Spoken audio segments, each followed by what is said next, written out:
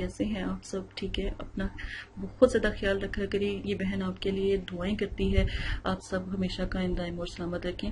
मुझे बहुत खुशी है कि आपने मेरे वज़ायफ को बहुत ज़्यादा पसंद किया। और सबसे ज़्यादा खुशी ये है कि आज तक किसी ने भी इतना डीपली वज़ायफ वगैरह को नहीं बताया। मैंने बहुत सोच समझ के वज़ाइफ पोस्ट किए हैं, क्योंकि मैंने वज़ाइफ के बहुत से चैनल देखे, लेकिन मैंने ये देखा कि वो मुकम्मल तरीका आपको कभी नहीं बताते, वो आपको पूरी डिटेल नहीं पढ़ पढ़ा कर वो कहीं से आपको बता रहे होते हैं, और जो तरीका है ना असल वज़ाइफ करने का, वो आपको नहीं समझाया जाता कि वज़ाइफ का टाइम कौन सा है, वज़ाइफ किस टाइम से किया जा सकता है, और कौन सा, अब टाइमों का भी हिसाब होता है ना। अब देखिए, मगरिब के टाइम जो सा है कि बच्चों को बाहर नहीं निकलने दिया जाता, ये भी एक बहुत बड़ा मसला है। मैं ये इसके बारे में वीडियो बनाऊँगी, आपको बताऊँगी मगरिब से पहले आप लोग अपने अपने घरों में चले जाया करें। या मगरिब के टाइम बाहर ना निकला करें। मगरिब से आधा घंटा पहले बिल्कुल घर से बाहर ना निकला करें। बच्चों को निकलने ना दिया गया असर और मगरिब के दरमियान तो बिल्कुल भी ना निकलने दिया करें। इसके बारे में मैंने बहुत से मेरे पास कमेंट्स आए हैं। उसके बारे में प्रॉपर वीडियो बनाऊँगी दिनों के हिसाब के बारे में, ठीक है ना? कि कौन सा दिन आपके लिए कैसा है अच्छा है या नहीं है। और और वक़्त के बारे में बताऊँगी कौन सा वक़्त आपके लिए बेहतर है, कौन सा नहीं। कौन से वक़्त में आप अमल करें, वज़ायफ करें, ये बारे में मैं पूरी तफसील से वीडियो आपको समझाऊँगी। आज का वजीफ़ा आप ही की फरमाइश पर है। एक मेरी बहन है, उनकी फरमाइश पर बहुत ज़्यादा हमने, मुझे दुख भी बहुत ज़्यादा है उनका और उन्हीं की वजह से ये पोस्ट किया गया है। मोहब्बत शोहर की हो या किसी अपनी की ठीक है ना? सिर्फ़ ग्यारह मरतबा आप पढ़ेंगे जो मैं आपको वजीफा आपको बताने लगी हूँ।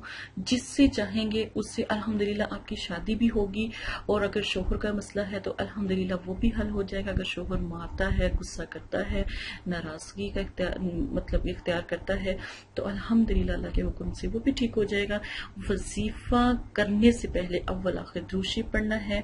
वजीफे को आपने नए दिनों में करना है, यानी इस्लाम के दिनों में करना है। वजीफे वजीफे को आपने फजर या ईशा के टाइम या फिर तहजद की नमाज़ के बाद करना है, ठीक है? और वजीफा जो सा है इतवार को करना है। लाजमन अगर दिन, अगर आपको परेशानी हो रही है और आपने बहुत जल्दी करना है, फिर इतवार को कर सकते हैं, पीर को कर सकते हैं और बुध को कर सकते हैं। तो इन दिनों में आप वजीफा कर सकते हैं जुमे वाले दिन भी कर सकते हैं, वो भी मोतबर है, और कोशिश करें कि मंगल और हफ़्ते वाले दिन बस आपने वजीफा नहीं करना, ठीक है? और चाँद के नए दिनों में वजीफा करना है आपने।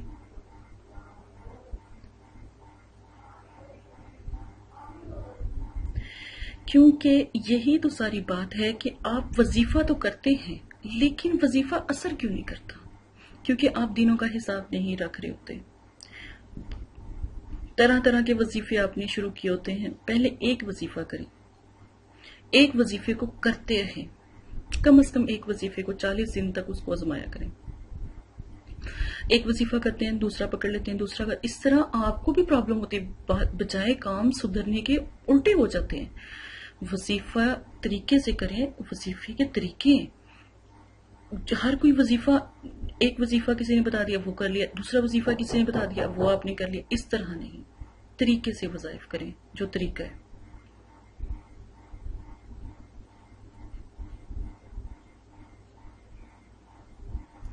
सबसे पहले आपने करना क्या है? वजीफा है बिस्मिल्लाह शरीफ का। बिस्मिल्लाह रहमान रहीम। सात सौ छियासी मरतबा आपने बिस्मिल्लाह पढ़नी है। अव्वल, आखिर शरीफ के साथ, जैसा मैंने आपको पहले कहा है। ठीक है?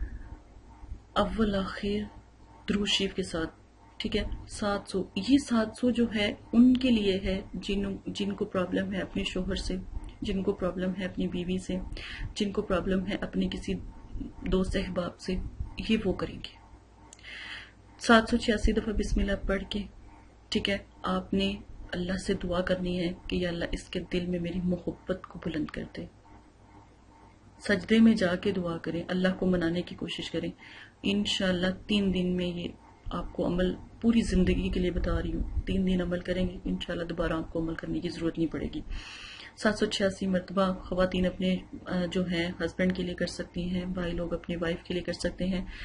और उसके बाद, अगर शादी का पैगाम का कोई मसला है अब सात सौ छियासी मरतबा आपने सात दिन दरवाजे के सामने बैठ के करना है, जिससे आप, जिस शरीय लिहाज से। मैं ये नहीं कहती कि जो है तो बनाजमिल्ला प्यार करना बुरी बात है या नहीं। मैं कहती हूँ तरीके से। तरीका इस्तेमाल करें जो आपको बताया जा रहा है। ठीक है ना? शरीयत का ख्याल रख। के माँ बाप की इज़्ज़त रख। आजकल बहुत से लोग हैं, ना इज़्ज़त का, अपनी इज़्ज़त का तो ख्याल नहीं वालदेन की इज़्ज़त का भी ख्याल नहीं होता। ठीक है, उसका ख्याल रखें सात सौ छियासी मरतबा आपने दरवाजे की तरफ़ ना, जहाँ पर आपका रास्ता है, या जिधर उनका घर है, जिस तरफ़ से आप इंटर मतलब कि उस, अगर देखें, जिस स्ट्रीट या फिर जिस गली में उनका घर है, या जिस तरफ़ वो रहते हैं, जिधर से आपको आना जाना है, आप आपको सारा इस तरह नहीं समझ आ रही तो अपने घर के दरवाजे की तरफ़ मुँह करके आपने ये पढ़ाई करनी है और दुआ करें कि अल्लाह पाक उनसे आपकी जो है शादी हो जाए कि या अल्लाह पाक मैं आपसे ही इजाज़त मांग रही हूँ, या मैं आपसे ही इजाज़त मांग रहा हूँ, आप इतनी दुआ करें। सात दिन ये दरवाजे के सामने बैठ के अमल करें। इनशाला अल्हम्दुलिल्लाह, इतना असर है इस वजीफे में कि रिश्ता आपके घर आ जाएगा। इनशाला नंबर दो अब इस वजीफे का इस्तेमाल एक और तरीका भी है, सिर्फ़ ग्यारह मरतबा पढ़ा जाए।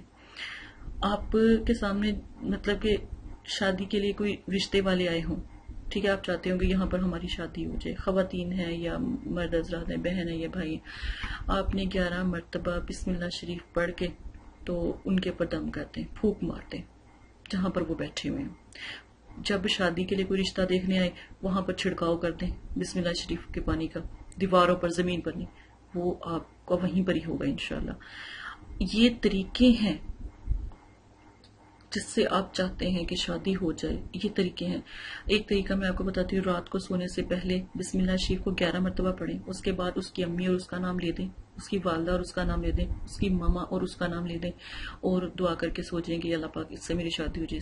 इनशाला इनशाला तीन से चार दिन बाद अगर बशर्ते कि वो बात करता हो अपने घर में, या बात करती हो अपने घर में तो इनशाला अल्लाह के हुक्म से अल्लाह पाक हर किसी के दिल को जानते हैं तो आपके घर झुंसा अलहमदिल्ला रिश्ता आ जाएगा। इसी के साथ अगर मेरी कोई बात बुरी लगी हो, या मेरी बात किसी की कुछ समझ ना आ रही हो तो कमेंट्स बॉक्स में लाजमन रबता करें। इनशाला इनशाला आपको जो जो भी तरीका है, वो ज़रूर बताएँगे।